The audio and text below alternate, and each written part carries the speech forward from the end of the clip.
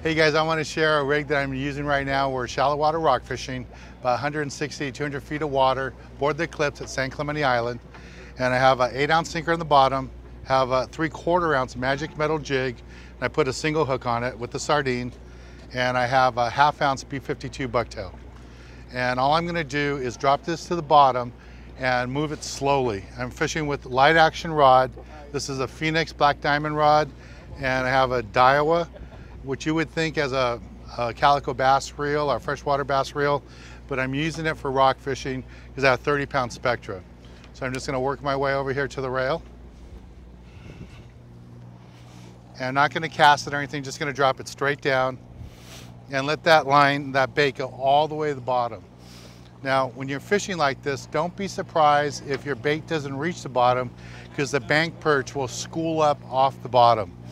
So I'm just letting this go all the way down. Again, no casting, no nothing, just drop it straight down. I just got down to the bottom, only been there about two, three seconds. See my rod tips already getting bit. And that's what's nice with the Spectra. You see every little nibble with that Spectra line. That, that bouncing right there that you're seeing, that's, that's an actual fish. So what I'm gonna do now is just go ahead. Oh yeah, he's there. I'm just gonna put the reel in gear, and then slowly wind up. I want to make sure they're there. There we go. And just wind up.